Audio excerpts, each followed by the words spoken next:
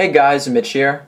Today we're going over SLight Enhancer Search. It is a jailbreak tweak that allows you to search throughout the spotlight on your device through different engines and social media networks. Now what does this mean? Well, usually when you head over to the spotlight on your device, you are able to search within the contents of your device. And this can include the mail application, your contacts, any iMessages that you would have.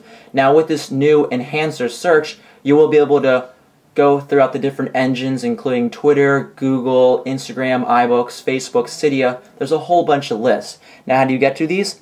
First, if you head over to your settings and go to the SLight Enhancer search, you will be able to see the different search engines that you can select on or off. Now, in my case, it did download in French, but yours might be in English, hopefully. Anyway, once you go ahead and enable some of these, so I'll enable Cydia, Google, we'll do Facebook, Twitter, and YouTube, you will have to respring your device, which is this button right here, and you will have to apply the modifications on your device.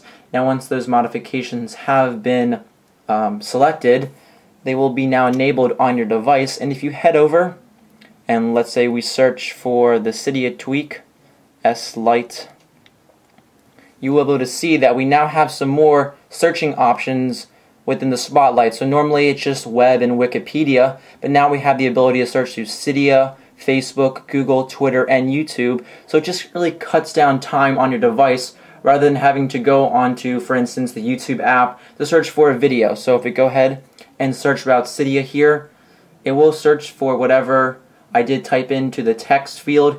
And in this case, I did type in SLight, and it should come up with the um, Cydia tweak that I am running right now on my device.